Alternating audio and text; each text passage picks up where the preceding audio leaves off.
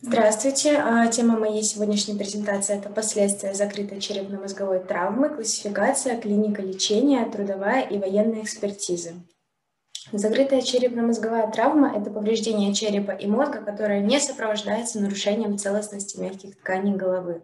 Последствиям закрытой черепно-мозговой травмы относятся истощение нервной системы, повышенная утомляемость, раздражительность, постоянная пульсирующая головная боль, при которой обычные анальгетики не помогают – головокружение, часто возникающие моменты физической нагрузки, нарушения сна, которые проявляются бессонницей или прерывистым сном, и возникает у пациента необходимость в постоянном применении снотворных средств.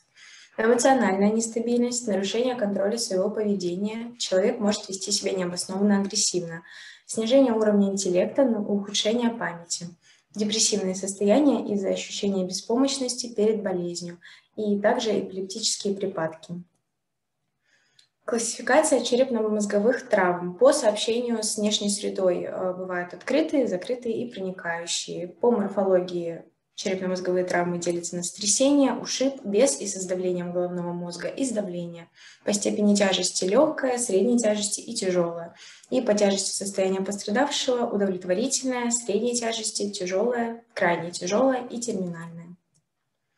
Клиника.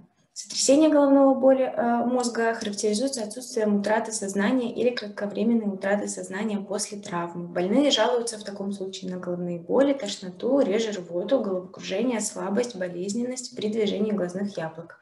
Может быть легкая асимметрия сухожильных рефлексов. И также наблюдается ретроградная амнезия. Ушиб головного мозга по клиническому течению выраженности повреждения мозговой ткани разделяют на ушибы легкой, средней и тяжелой степени. Ушиб мозга легкой степени, а, когда после травмы отмечается утрата сознания от нескольких минут до 40 минут. У большинства имеется ретроградная амнезия на период до 30 минут.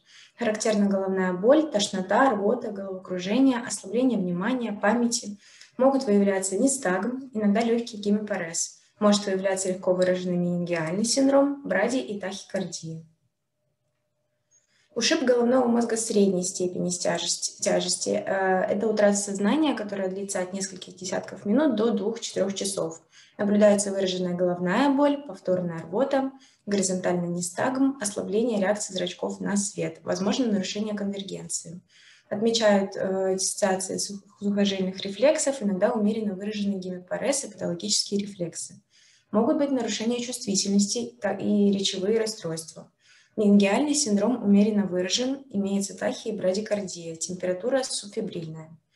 Ушиб мозга тяжелой степени характеризуется утратой сознания, которая длится от нескольких часов до нескольких суток. Угнетение сознания до сопора или комы. Могут быть выражены психомоторные возбуждения, которые сменяются атонией. Выражены также стволовые симптомы, такие как плавающие движения глазных яблок и фиксация взора вниз. Реакция зрачков на свет и роговичные рефлексы угнетены. Глотание нарушено. Двусторонние патологические стопные рефлексы наблюдаются. Также имеются изменения мышечного тонуса и часто гемопарез. Могут быть судорожные припадки, нарушение дыхания и менингиальный синдром. А, к особой форме ушибов мозга относится диффузное аксональное повреждение мозга. Его клинические признаки включают нарушение функции а, мозгового ствола, это угнетение сознания до глубокой комы.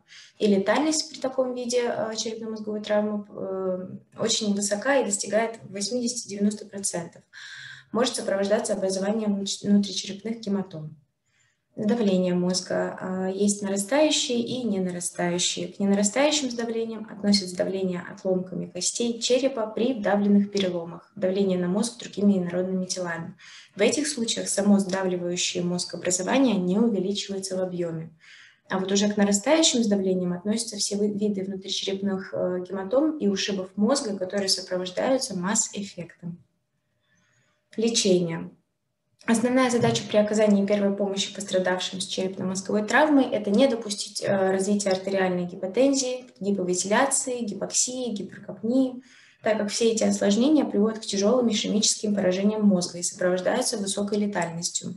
В связи с этим в первые минуты и часы после травмы все лечебные мероприятия должны быть подчинены признаку, э, правилу АБЦ. А. Обеспечение проходимости дыхательных путей. Б восстановление адекватного дыхания, устранение обструкции дыхательных путей, дренирование плевральной полости при пневмо- и гематоракзе и э, искусственная вентиляция легких по показаниям врача.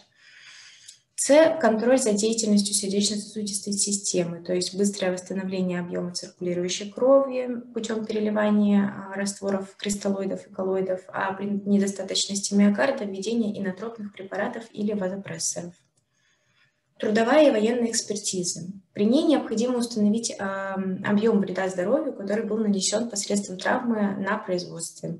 Также требуется установить тяжесть травм, имеется ли черепно-мозговая травма или травма лица, полученная в бытовых условиях, есть ли потребность получения компенсации на основании ранений, которые нанесены пострадавшему в результате военных действий. При трудовой экспертизе э, больному выдается больничный лист до 4 месяцев. Далее медицинская экспертиза для оформления инвалидности на 1 год. Военная экспертиза отсрочена на 6 месяцев после сотрясения, и затем человек годен, но уже с ограничениями. Спасибо за внимание.